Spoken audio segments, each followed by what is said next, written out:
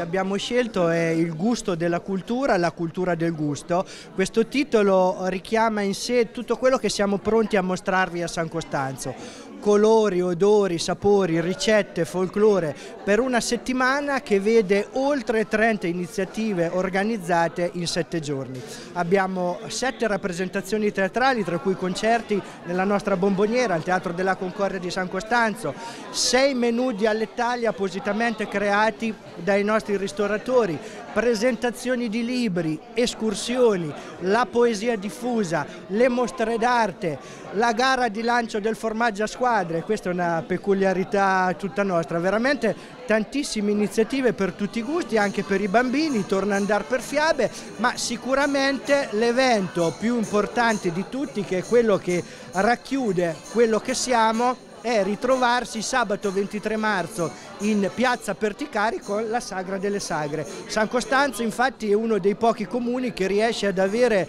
eh, un'organizzazione di feste, sagre folcloristiche all'interno dell'anno eh, con una concentrazione molto importante, ben quattro feste. Quindi in piazza Perticari avremo la polenta di San Costanzo, la crescia di Stacciola, la trippa di Cerasa, lo stufato di cinghiale e i dolci eh, dei nostri pensionati. Il tutto accompagnato dal gruppo caratteristico musicale La Matta di San Costanzo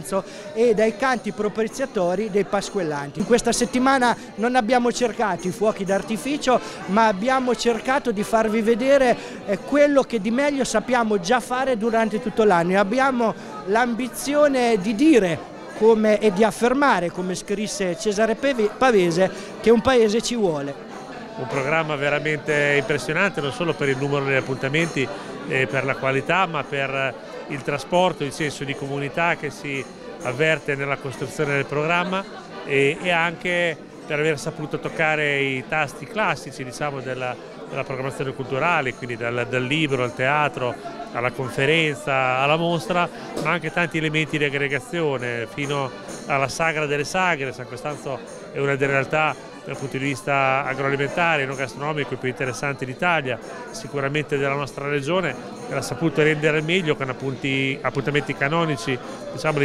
ma neanche tanto, sono anche qui originali all'interno dei ristoranti, ma anche tanti altri momenti